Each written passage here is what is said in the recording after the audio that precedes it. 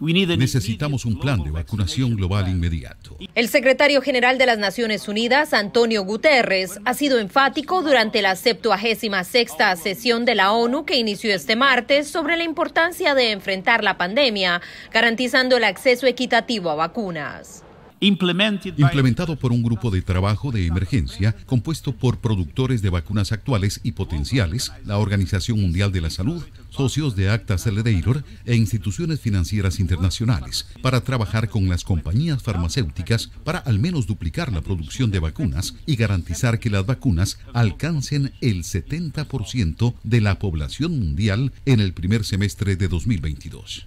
Se espera que el presidente Joe Biden redoble sus esfuerzos durante la Asamblea General para avanzar en una iniciativa conjunta que incrementó el acceso global a vacunas. La Casa Blanca ha dicho que Biden planea pronunciar su discurso en persona el martes 21 de septiembre, algo que según Stefan Dujarric, vocero de Guterres, beneficiaría al programa de vacunación mundial COVAX por medio del cual la administración Biden ha distribuido la mayor parte de las 110 millones de dosis donadas según la Casa Blanca.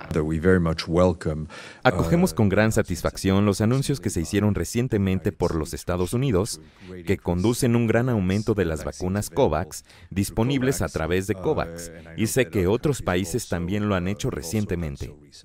Abdullah Shadid de Maldivas asumió la presidencia de esta sesión que se enfocará en la recuperación de la pandemia, los derechos humanos y la revitalización de la ONU. Celia Mendoza, Voz de América, Naciones Unidas.